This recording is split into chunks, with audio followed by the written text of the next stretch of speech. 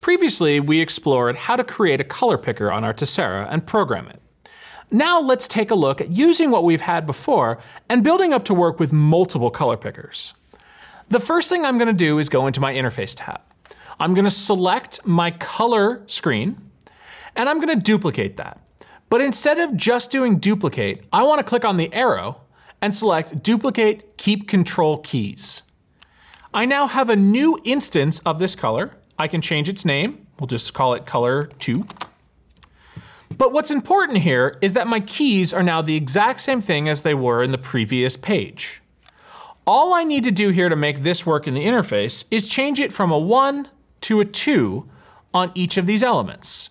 So I'll go through do the red one, the green one, the blue, the intensity, and then most importantly, the color picker itself.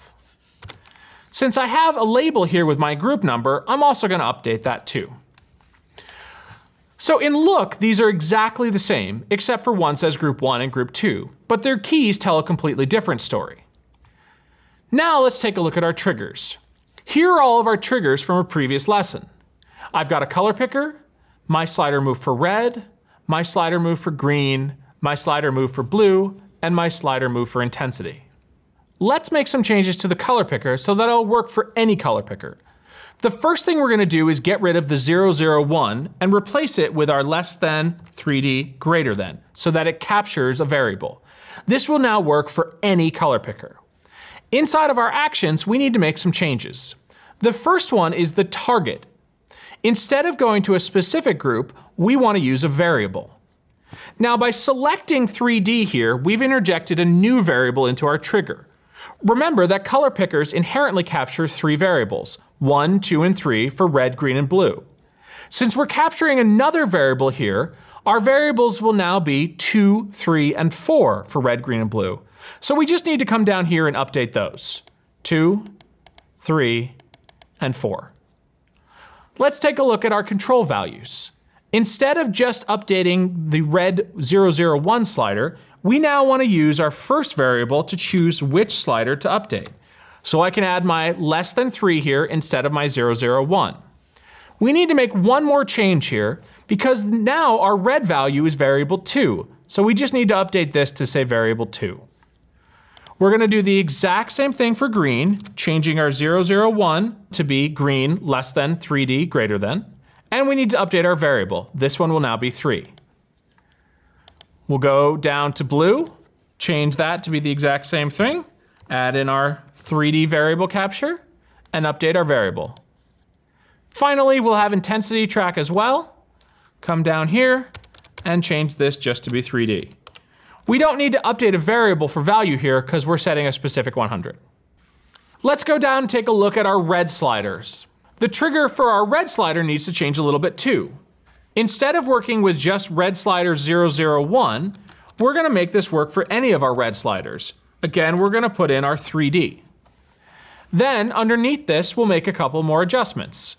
Just like we updated our color picker, we're gonna switch from group to variable in our set RGB and leave that at variable one. Then we're gonna update our red value to be variable two. Just like the color picker, we now have a secondary variable. Our first one will now be the slider number, and our second one will be the slider value. So we can make our associations there. We'll do the exact same thing in our set control value, change the value from variable one to variable two.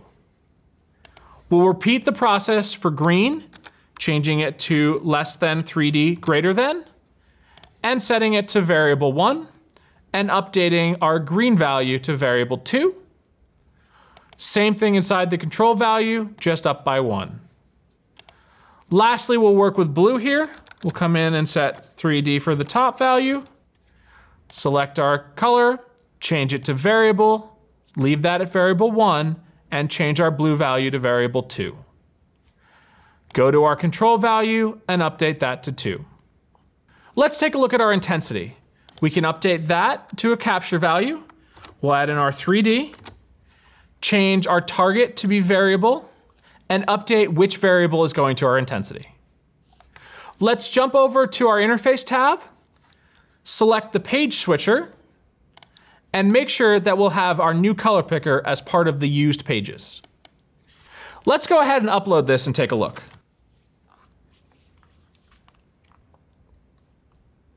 I'm looking at the group one page on my Tessera, and I can select my color picker and move it around, and notice I'll just control group one. If I go to my group two page on my Tessera, I can now move my color picker around and independently control that.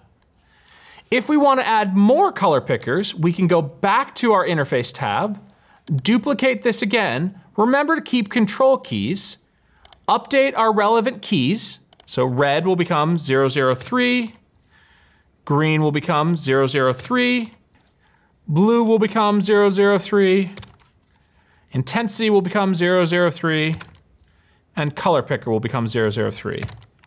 If we've got a label, we might want to update that too. And now all we need to do is add it to our page switcher. Go to edit pages, drag it in. We can upload it now. And now we'll have a third color picker page. Because we're capturing up to a three digit variable now, we can repeat this process for up to 999 color pickers. To go to our group three, we select it on the page switcher, and now we've got control of our group three. Remember, whenever you're working with triggers, it's a good idea to fill out information for your name and description so you remember what steps you took.